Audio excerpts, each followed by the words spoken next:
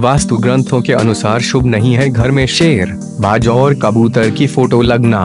वास्तु शास्त्र के अनुसार घर में मूर्तियाँ और तस्वीरें लगाने में विशेष सावधानी रखनी चाहिए। कुछ ग्रंथों जैसे मानसार सम्रांगण सूत्रधार, प्रसाद मंडल और बृहद संहिता के अनुसार घर की सजावट और अन्य चीज़ों के बारे में विस्तार से जानकारी दी गई है, जिसके अनुसार घर में रखी गई वस्तुएँ और तस्वीरों का शुभ अशुभ असर घर में रहने वालों पड़ता है। इन ग्रंथों में यह भी बताया गया है कि किस तरह की मूर्तियाँ और तस्वीरें घर में रखनी चाहिए।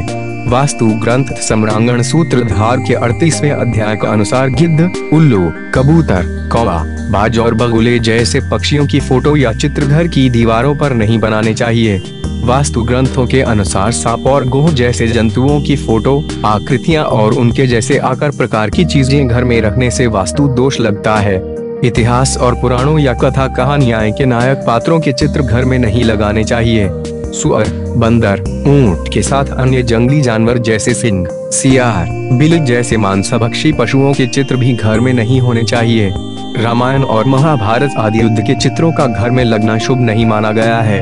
राक्षसों और भूत प्रेतों आदि के भयंकर दिखने वाले चित्र भी घर में होना अशुभ माना जाता है।